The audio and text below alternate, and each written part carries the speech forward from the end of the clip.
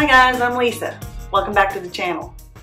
When I started my fight, I had a little trouble understanding the difference between retaliation, harassment, and hostile workplace.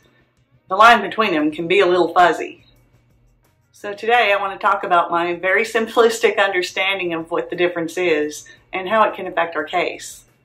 My AJ found in NASA's favor on my claims of retaliation, harassment, and hostile workplace.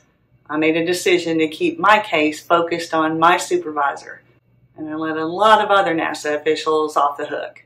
I regret my decision not to drag every shady one of them right into the mix. If I had, I definitely would have won at least one of these claims.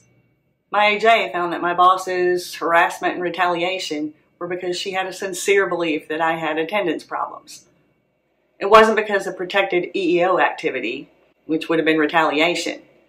It wasn't because of my disability, which would have been harassment. And it wasn't to the point of being severe and pervasive. So therefore, no hostile workplace. NASA didn't show any evidence that I actually had attendance problems. And I actually had a lot of evidence that showed it was pretext. But my AJ believed my boss's testimony and overlooked that evidence, even though he found my boss's testimony not credible on a bunch of other points. It was super confusing. His decision said that my boss had discriminated intentionally. He even bumped my damages because of it, but he still found no retaliation, no harassment, and no hostile workplace. I accepted his decision because I'd been fighting for six years and I was ready for it to be over. And also, he had given me a maximum award on the claim I won, which was more money than I ever expected to get.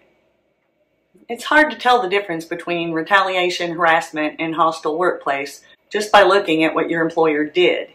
What distinguishes between them are your employer's motives for what they did and the effect that those actions had on you or other people in the workplace.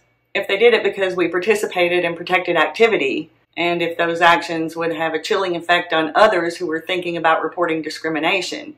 That's retaliation. If they did it because of your membership in a protected class and it's offensive or intimidating enough that a reasonable person would find it hard to work under those conditions, that's harassment.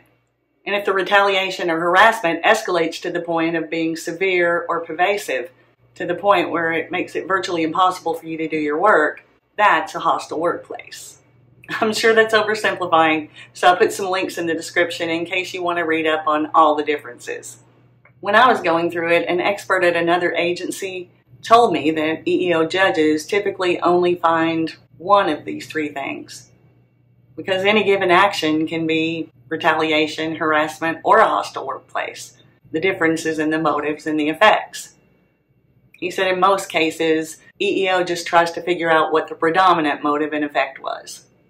I think what bothers me most is that I don't believe my boss had just one reason for what she did to me. And I don't believe that any of what she did was motivated because she sincerely believed I had attendance problems.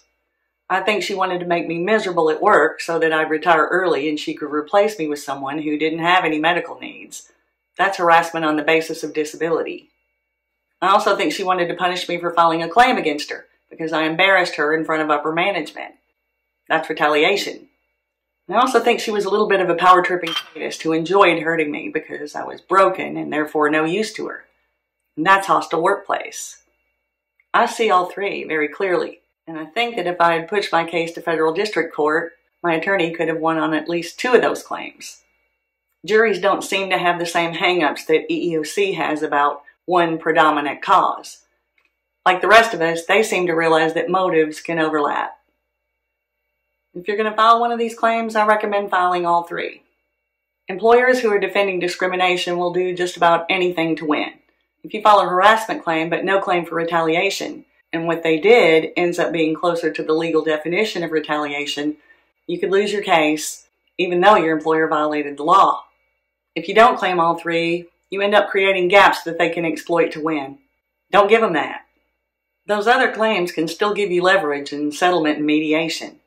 In worst case, if you end up in federal court, a jury might take your side. So when it comes to retaliation, harassment, and hostile workplace, I say when in doubt, file the claim and use the EEOC process to sort out what's what. I'll see you guys again next week. Till then, take care and hang in. Bye, smart.